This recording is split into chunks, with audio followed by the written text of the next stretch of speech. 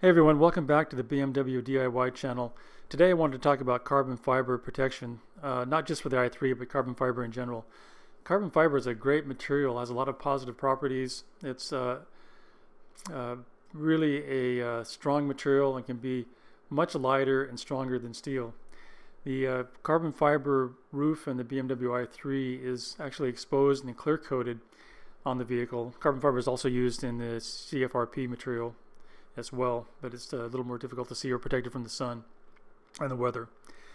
So carbon fiber is usually uh, embedded in a matrix of epoxy resin and then also uh, baked and cured and then uh, typically has a uh, clear coat that's put on top of that in the uh, structure.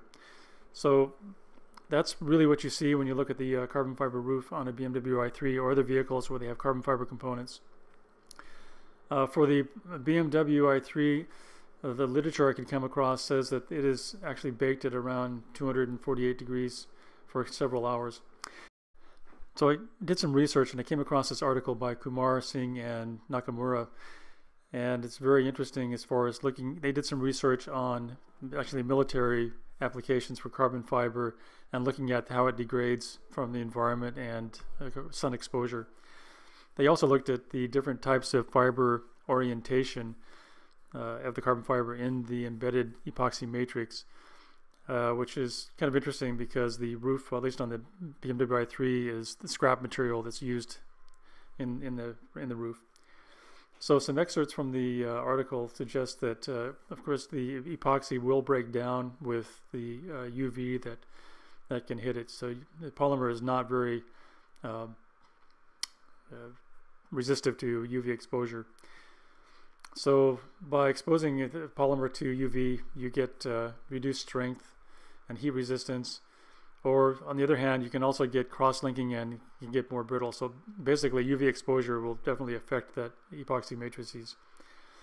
Um, also, uh, you can create other chemical reactive species uh, and color. they saw discoloration of the uh, carbon fiber as well.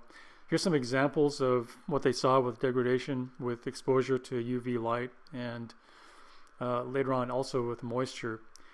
And the real takeaway here is uh, definitely you want to minimize any UV exposure to uh, carbon fiber matrices.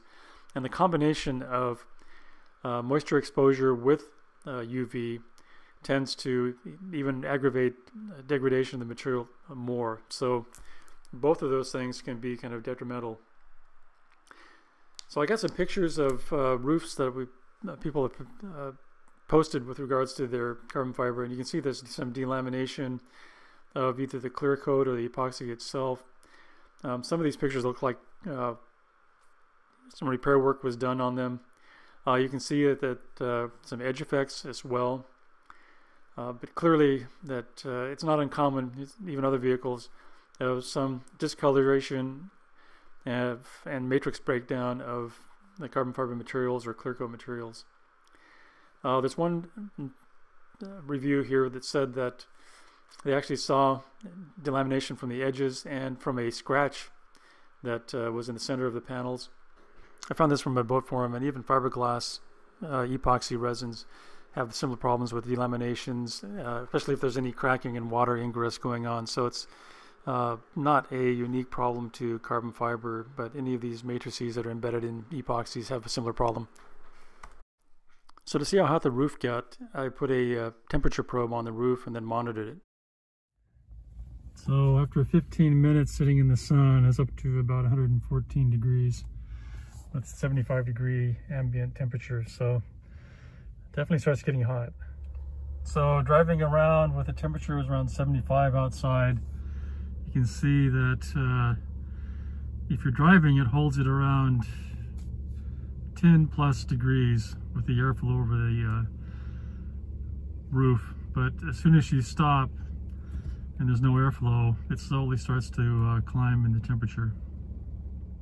Okay, so after about 25 minutes, 77 external temperature, roof is at about 130.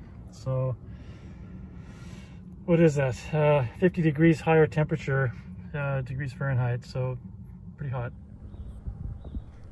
So I came back with another day. It was about 100 degrees out, and uh, this time I used a regular thermocouple probe. It should be more accurate.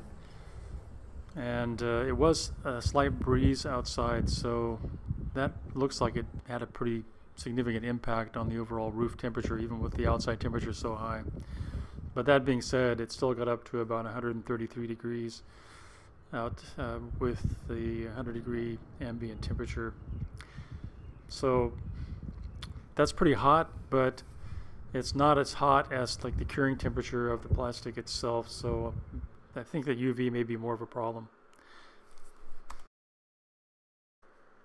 So the next step was what can I do to protect the carbon fiber and clear coat better? So I went to my garage and found several items that were uh, Meguiar's Quick Wax, uh, some Butter Smooth Wax from Armor All, and uh, Turtle Wax Carnauba materials. I also went and purchased some high-tech Flex Wax because it says it's UV protecting. Um, graphene detailer from 303 brand. Um, I happened to pull some sun sunscreen for babies because it, uh, it's pretty good stuff. And uh, just some regular turtle shell hard wax that I then mixed with some nanoparticle zinc oxide to see what would happen as the test. Okay, so this is basically how the test goes. You check the actual sun values and readings. I point it directly to the sun or close to it. Okay. So here is the uh, modified uh, wax with the uh, ingredients that I included. So I'll take a quick shot of that and the values.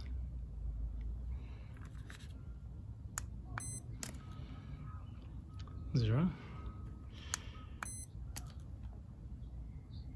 So we'll buff it out in just a second and see what it looks like. Now, the uh, membrane itself does block some of the light, so just take a quick shot of that. You can see it's about uh, 99 milliwatts per uh, square meter versus about 130 for the uh, straight sun. Then we're getting zero the membrane. So here's the results, and it really boils down to most, if not all of the uh, commercial waxes and uh, even the expensive graphene UV protective waxes uh, are pretty abysmal performance. Uh, 90 plus percent of the UV is actually going through the materials onto your carbon fiber. The only thing that looked good was uh, the baby sunscreen. Uh, the butter wax where I mixed in the uh, nano zinc oxide and also some wax where I mixed in some of the SolSafe organic UV protectant materials. In addition, the uh, 303 graphene detailer looked terrible on any kind of a black surface, uh, really smeared around. I also looked at the uh, zinc oxide mixed in with the turtle wax material and uh, I didn't really see any scratching on an acrylic plate, which is pretty soft material. So I think if it's really mixed well, so there's no clumping of the zinc oxide, that scratching can be controlled and minimized. So based on this, I did some more testing, uh, did some more research, and got some additional materials. One of them was the uh, Optimum uh, car wax with patented UV protection as a uh, test material, and it looks uh, pretty glossy, shine on the test stand. I also saw people recommend this the treatment, a heavy-duty silicone car wax, so I got that to evaluate as well. And here's what it looks like when it's buffed into the, the uh, membrane for testing. And then I pulled from the uh, rubber uh, evaluation video earlier, I pulled the RV Care material because I think it looks like it might be compatible with the clear coat materials, although it's not compatible with the EPDM seal materials for sure, uh, to see how those perform under the similar test conditions. Uh, it also has a pretty glossy coating finish. So with, with those tested under the same uh, criteria, uh, the optimum UV protecting uh, wax spray was slightly better than the other uh, commercial brands, but not by much. I got about a, a 80% uh, transmittance to the carbon fiber. The treatment was actually better with about 60%, and then the RV care was actually way better. Um, what I did then is I put some uh, test samples with the best performing materials on the back of my carbon fiber to take a look and see what uh, they do on the surface over a period of time. So that test is still ongoing and uh, we'll see how that works out in the next several months and uh, whether there's any negative side effects on the materials. So in conclusion, I would say that carbon fiber discoloration is a common issue, not just to the i3s, but uh, many carbon fiber accessory materials. Uh, looks like damage from the heat uh, is less likely, and uh, damage from UV, exposure of the epoxy matrix or the clear coat is probably more likely. Most clear coats uh, do block some of the UV, but not necessarily all of it. So the failure modes appear to be both combination of UV exposure and water exposure, which then would gets underneath of the uh, clear coat and then starts to delaminate the, the material. So anything that would seal or coat the surface to better protect it from any kind of moisture ingress uh, definitely is a good idea. So waxing is definitely better than uh, not doing anything at all, even if it doesn't block UV. So clearly any material that would block UV plus what give water protection is would be what would be optimal. Of course, the best thing to do is park in the shade so you don't expose the material to any harsh environments that could potentially cause a problem. Um, finally, I just wanted to mention to, you know, if I come up with something that looks good, um, let me know if you guys are interested in uh, purchasing something like that. Anyway, that's all I have for today. Uh, I hope you found it interesting, and uh, please like and subscribe if you want to see more of this or see the test results later on. Thanks again for watching.